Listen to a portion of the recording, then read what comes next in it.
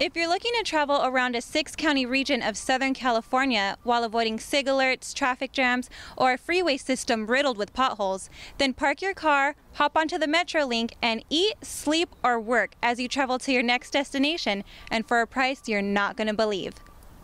There's so much to see and do here in Southern California, but when you're on a budget, you've got to find a creative and cost effective way to have an adventure.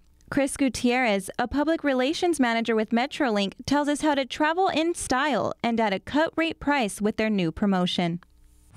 The $15 summer day pass is a very convenient option for families and leisure riders to get out during the week. And if you don't know where to go, Metrolink uh, has uh, uh, options for you. If you visit MetrolinkTrains.com, we have an Explore page that lists hundreds of locations across Southern California that you could visit. The $15 summer day pass is available on our mobile app, and now this year we're actually offering it on our ticket vending machines as well. It seems like with every good deal, there's always a catch. Limit one per person, void where prohibited, or offer not valid somewhere. But Gutierrez tells us no restrictions apply. There's no limit on the amount of times that you could purchase the $15 summer day pass. We actually encourage you to purchase it as often as you'd like between now and September 1st. And also on the weekends, the $10 uh, weekend day pass is also available. This just keeps getting better and better. This $15 pass is bigger than it seems with a bunch of built in bonuses.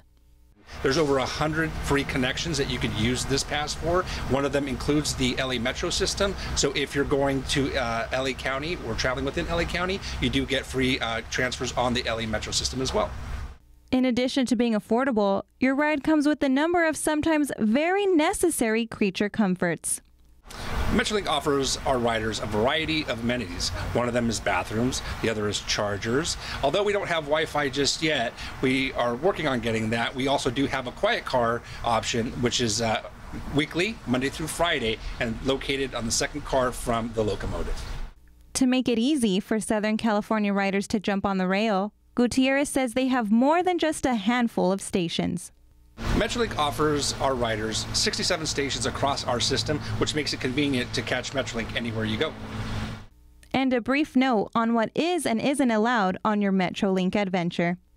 For those riders who are new to Metrolink, smoking is definitely not allowed on board, uh, but you can bring bicycles, you can bring uh, electric scooters, uh, and then you can bring small animals as long as they're in a carrier. Gutierrez also told us that for people who need assistance, they have ramps at all of their stations, and conductors are there to help riders who use wheelchairs.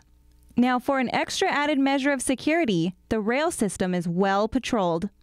Although Metrolink trains are very safe, we do have a partnership with LA County Sheriff's Department, so you might see them on board from time to time doing fare inspections and making sure everybody's there safe and sound. Accidents can happen, but Metrolink goes to great lengths to do all they can to ensure everyone's safety. So, for those that aren't riding the train and are either walking or driving near railroad tracks, it's always important to be vigilant because you never know when a train's coming. So, if you see train tracks, think train. And if you see the arms or gates down at a crossing, please stay uh, in your spot until the train is passed and those arms are up. For an affordable and unique way of getting around town without the burden of gas prices, auto repairs, insurance, and more, let someone else do the driving. Metrolink might be able to save you time, money, and grief by taking you to your next stop while you simply relax. David, I gotta start taking the train to work. Christina Corona, NTD News, Los Angeles.